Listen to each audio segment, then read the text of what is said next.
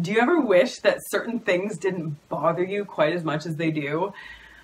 Do you ever envy those kinds of people who seem to be able to take whatever life has for them? If it's criticism, if it's failure, if it's hardship, if it's struggle, if it's pain, or whatever it is, and they just seem to be able to let those things roll off their back and not get affected by them and not get upset by them. And they just seem to kind of shrug their shoulders and say, oh, well, and keep going.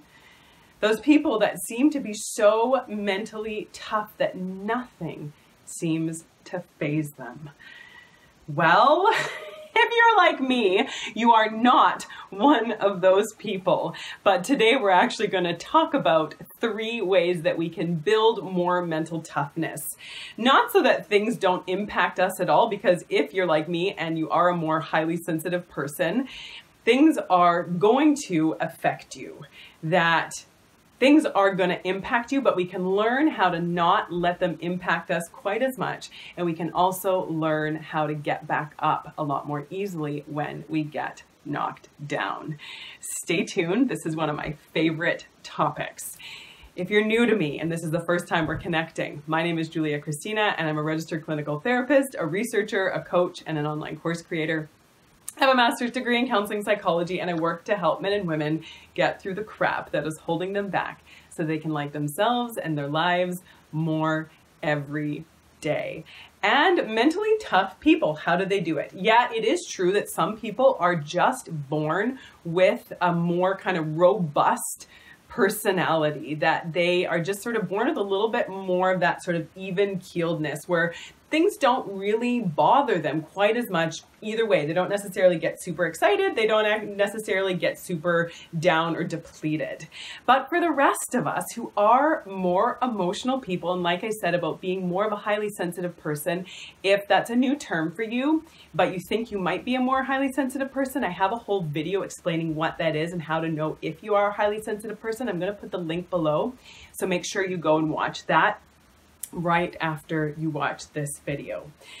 But if you are a more highly sensitive person, things do hurt you more deeply. And the reason why I'm so interested in this topic is because, like I said, I'm a more highly sensitive person. And so I wanted to learn how to not let certain things bother me quite so much. So I've been doing a lot of research on mental toughness and how to become more mentally tough. And what I wanted to know is how to not let anything bother me, to how to never get knocked down. But unfortunately, or maybe fortunately, I don't know which one yet, that's just not the way that it works and there's some good news and bad news with that because the truth is is that you can't numb out the bad without also numbing out the good. If things are not going to bother us, if we're not going to get impacted by, by tough stuff that comes at us in life, then we're not also, if we're going to learn how to just sort of block off our emotions and numb out and avoid and repress our emotions, we can't selectively numb. So that means that when we numb out the bad, we end up also numbing out the good. And so it's not about learning how to not have feelings, it's about learning how to handle things better when life dishes on us, when crap hits the fan, when things get tough, when crap gets real. Learning how to take that more in stride. And so I have three ways and pick which one works better for you, maybe in different situations. Different situations are going to call for a different response. It's not a one size fits all. It's a put some things in your toolbox and keep pulling something out until you find something that works.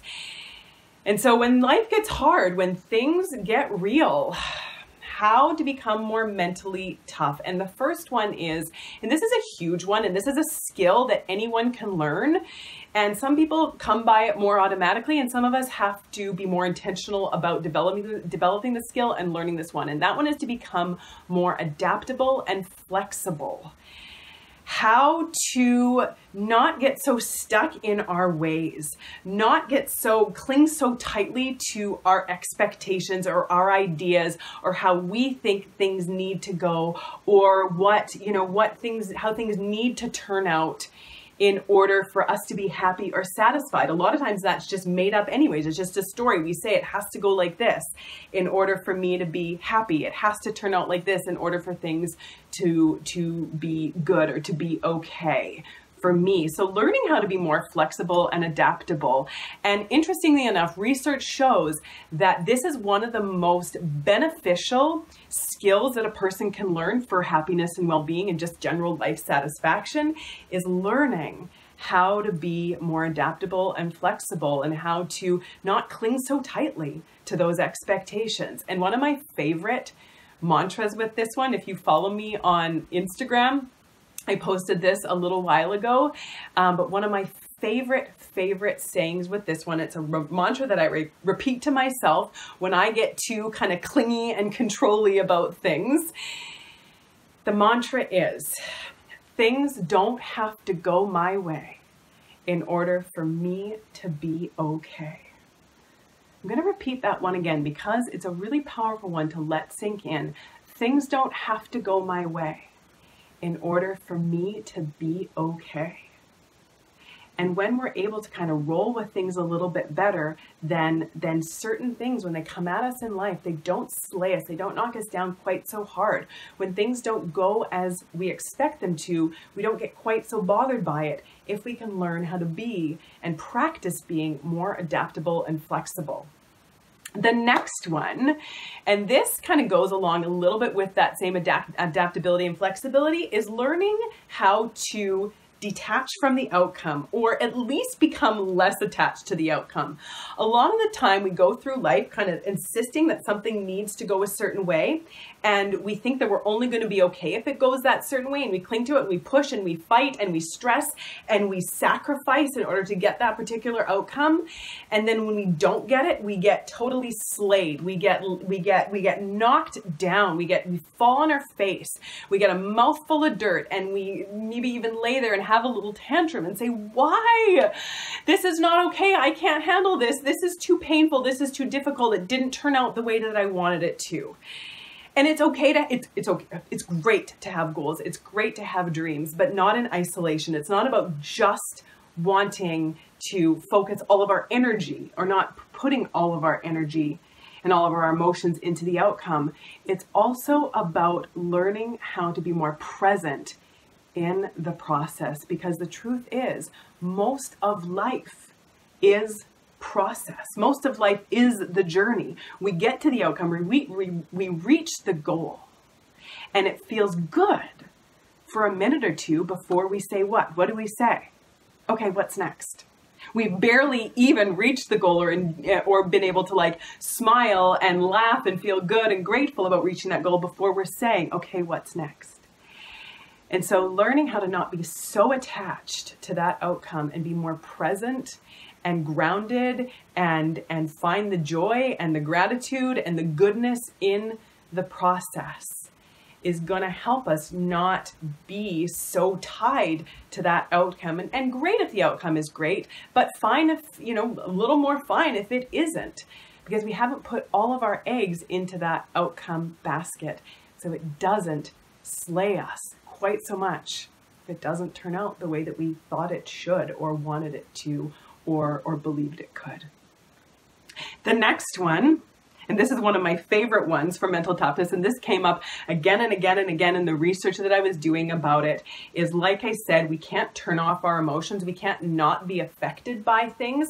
When we numb out the bad, we also end up numbing out the good. We can't selectively numb. numb. And so, regardless of how enlightened or emotionally mature or how grounded you become as a human being, there's still going to be certain things that slay you, that knock you on your butt, things, unexpected things, things you weren't planning for, or whatever it is. There are going to be times where life kicks you in the butt. You're going to get knocked down, but to be more mentally tough, mentally tough people learn how to become more bouncy.